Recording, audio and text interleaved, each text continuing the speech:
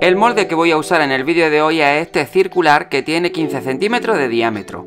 También voy a usar yeso, un vasito con un palo y agua. Lo primero que voy a hacer va a ser la mezcla.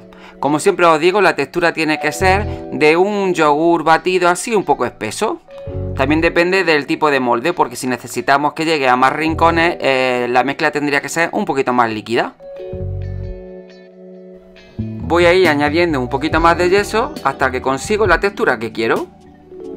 Y es muy importante que remováis bien para que no quede ningún tipo de grumo. Una vez que tengo la mezcla, la voy a echar en el molde. Después le voy a dar unos golpecitos para que las burbujas que están en el fondo salgan hacia arriba. No os preocupéis si os quedan algunos agujeritos luego aquí arriba porque eso son las burbujas del aire y eso pues es casi un poco imposible evitarla.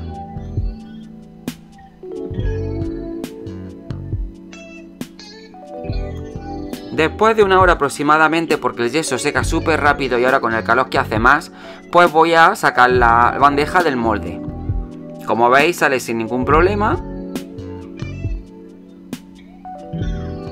Y queda perfecta. Este molde la verdad es que es súper chulo. Una vez que ha secado la pieza voy a lijar los bordes para que el acabado sea mejor. También voy a lijar la parte trasera.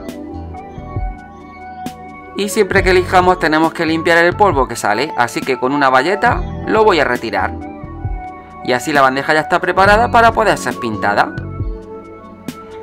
La parte central la voy a pintar con este rojo.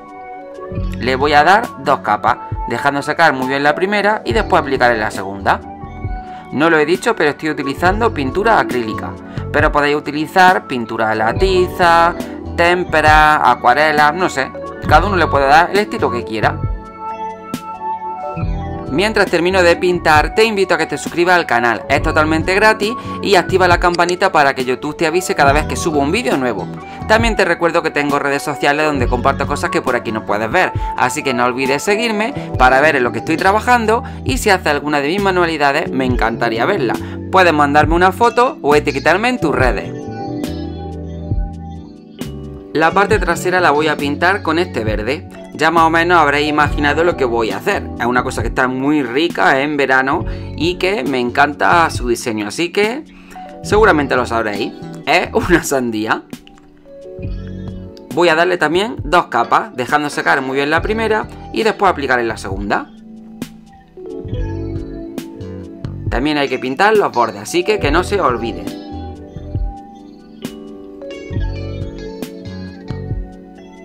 Si nos metemos con un color no pasa nada, siempre hay tiempo de retocar. Y así nos va quedando, ¿veis? Por aquí verde y aquí rojo. Ahora voy a hacerle con este pincel la línea o curva que tiene eh, la sandía. Estoy utilizando un verde lima así un poquito más clarito, ¿veis? Estoy haciendo como una especie de onda y estoy deslizando el pincel. Da igual como te salga, porque todas las sandías no son iguales, así que aquí no hay ningún problema. Una vez que tengo el diseño hecho, voy a darle luego otra capa para que el verde quede un poco más intenso. Podéis hacer diferentes modelos utilizando diferentes tonos de verde, así las sandías pues no son todas iguales. Y aquí ya estoy repasando otra vez en la segunda capa este verde lima. Lo voy a dejar así. Creo que se queda bastante bonito. ¿Veis? Y una sandía sin pepitas no es nada, así que vamos a hacerla ahora mismo, utilizando un pincel pequeño y pintura negra. Lo primero que voy a hacer va a ser como una especie de flor en el centro y después voy a ir intercalando las demás pepitas. Aquí no tengáis ningún miedo en dibujar las pepitas como queráis porque el resultado seguro que es genial. Y una vez que he pintado todas las pepitas, pues voy a dejar secar la bandeja por completo.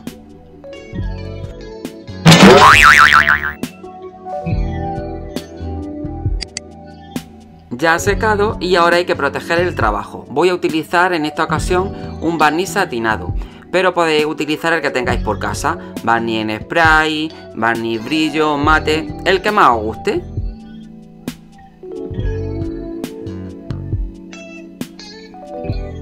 Voy a proteger completamente toda la bandeja, pero luego le voy a hacer un efecto muy chulo que ahora veréis.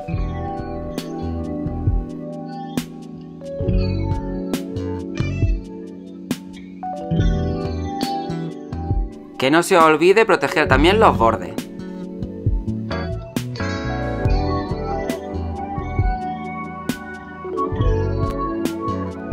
El trabajo estaría terminado así, pero yo quiero darle un toque un poquito más profesional con el efecto cristal que le da como siempre la resina. Yo voy a utilizar la de Resin Pro, esta transparente que tiene dos componentes A y B y que hay que mezclarlo en una proporción de 100 del A y 60 del B. Como la bandeja es muy pequeña voy a hacer muy poca cantidad. Voy a utilizar simplemente 20 gramos del componente A y 12 del componente B. Lo estoy poniendo en este vasito de silicona y ahora, como ya sabéis, hay que mezclarlo durante 3 minutos. Es muy importante que con la resina trabajéis con mascarilla, con guantes y en habitaciones ventiladas. Así que tened cuidado. Una vez que ya he removido la mezcla durante 3 minutos, está lista para echarla en la bandeja. Así que ahí va. La resina se suele repartir sola, pero si le damos unos pequeños movimientos, pues mejor. Así vamos a llegar a todos los rincones.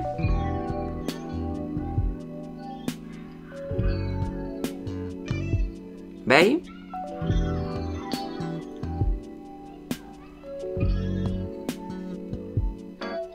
Hay que tener mucha paciencia, pero al final llega a todos sitios.